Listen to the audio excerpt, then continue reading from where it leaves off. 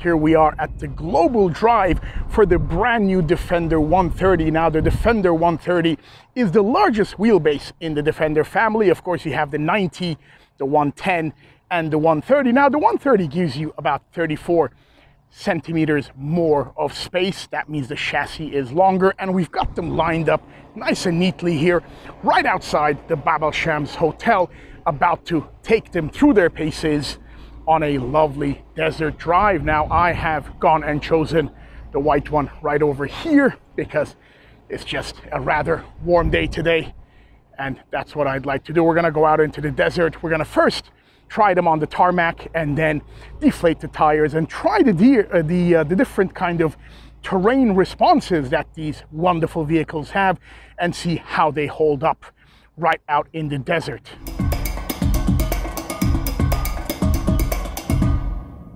Now let's have a little look inside the 130 because of course the 130 is a three-row eight-seater which means it packs a lot more space. Now once you go in you see the front row here, the second row here, and then once we move this, the third row to the back. Now the third row is rather comfortable as well.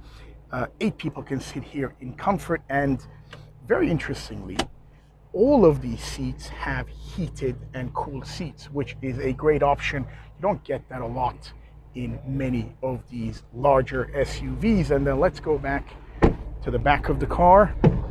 Let's open this up. And over here, of course, boot space isn't as large as one would hope because there's a third row of seats. However, you can do something rather clever.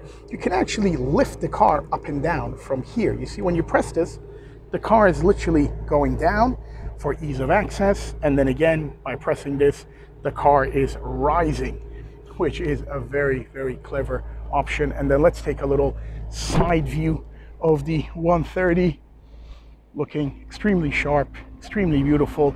And you have those beautiful 20 inch alloys there as well, making it wonderful. And of course, around you can see the world's media creating their content all around.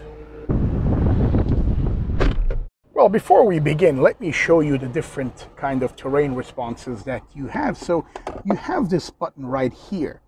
And then once you press it, they will all come up here, the different modes, the modes that you can select. And you can select these by, let's do that again, as with many Land Rovers and Range Rovers, you see you have the comfort mode, you have the grass and gravel snow, then you have the mud ruts, you have the sand, you have the rock crawl, and you have the wade. The wade feature is when the car is submerged into the water.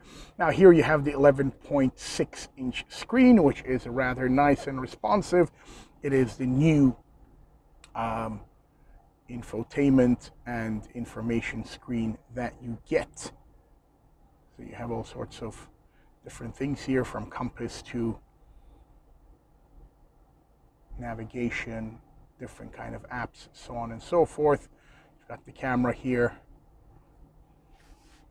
The interior is just as one would expect from a Defender. Looks rather refined, but actually is nice and rugged, if you ask me, with these exposed bits here, looking rather nice.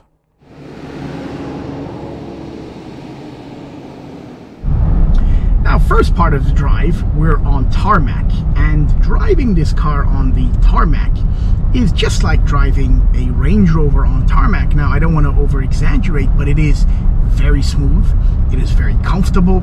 They are uh, there are no noticeable bumps in the road. Of course, I have the um, the terrain mode in comfort, which is one of the two road modes that you have in the Defender. There's an eco mode and then there's the comfort mode. So driving this car in comfort mode is just like driving a luxury SUV and with some great, great scenery as well.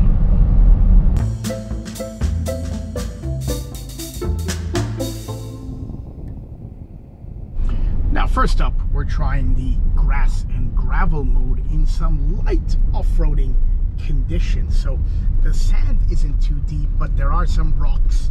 There is slight gravel here. So we're gonna see how the car, um, well, how the wonderful Defender works out here.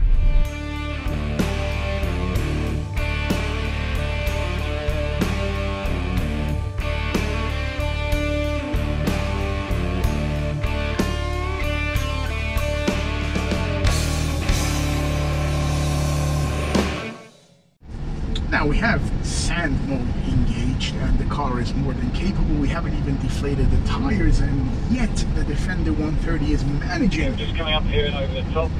Again, just uh, you'll need a little bit of momentum just to get up, and then we can um, up, up, up, slowly come down the other side. up, up, up, up, up.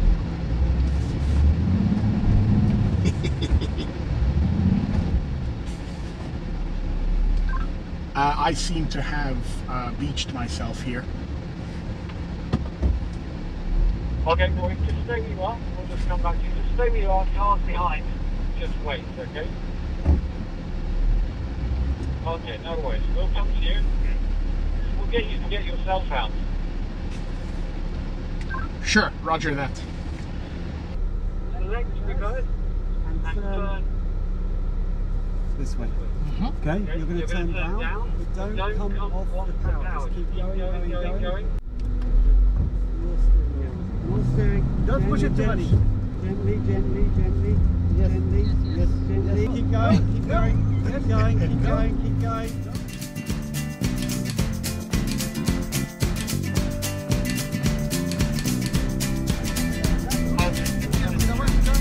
Okay, thank you. Well, Today was a rather special day indeed because today was the day I got to drive the beautifully crafted Land Rover Defender 130 and despite my rather novice attempts to conquer the Dubai sands, the wonderfully capable 4x4 got me out of those sand pits and proved that it is just as capable on gravel and wonderfully smooth on the tarmac. Well, if I was to give you my two cents, it is a masterpiece. It is a machinery that can conquer any harsh environment and give you the comfort of the most luxurious cars on the motorway. It is quite simply one of the best 4x4s I've had the pleasure of driving till now.